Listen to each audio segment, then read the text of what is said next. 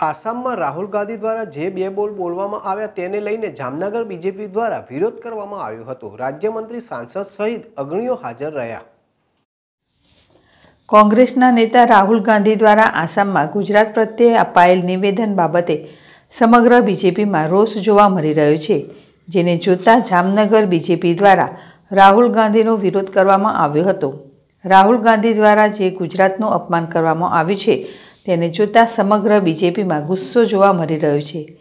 જામનગર શહેરના town hall ખાતે કોંગ્રેસના કાર્યાલય સામે બીજેપી દ્વારા સખત વિરોધ કરવામાં આવ્યો હતો, જેમાં સંસદ પૂનમબેન માડમ, રાજ્યકક્ષાના મંત્રી ધર્મેન્દ્રસિંહ જાડેજા, કેબિનેટ મંત્રી આરસી ફળદુ, શહેર પ્રમુખ ડૉક્ટર વિમલ કથગરા સહિત બીજેપી કાર્યકરો જોડાયા હતા અને રાહુલ ગાંધી માફી માગે તેમજ કોંગ્રેસ હાય હાયના નારા સાથે સખત શબ્દોમાં વિરોધ નોંધાવ્યો હતો. રાહુલ ગાંધી દ્વારા ગુજરાતના લોકોની માફી માગે તેવી માંગ કરવામાં આવી હતી. રાહુલ ગાંધીના અપાયેલ નિવેદનને બીજેપી દ્વારા વખોડી કાઢવામાં આવ્યો હતો. રાહુલ ગાંધી દ્વારા આસામની રેલીમાં નિવેદન આપ્યું હતું કે આસામના બગીચા પર ગુજરાતીઓએ કબજો જમાવ્યો છે.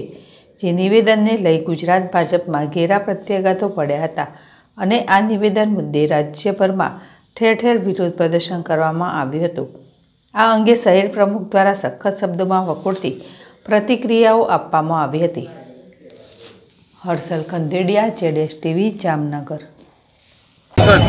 રાહુલ ગાંધીએ આસામની એક રેલીમાં એવું સ્ટેટમેન્ટ આપ્યું કે આસામના ચાના બગીચા ઉપર ગુજરાતીઓએ કબજો જમાવ્યો છે અને ત્યાંના સ્થાનિક લોકોને એ શોષણ કરે છે અને હેરાન કરે છે.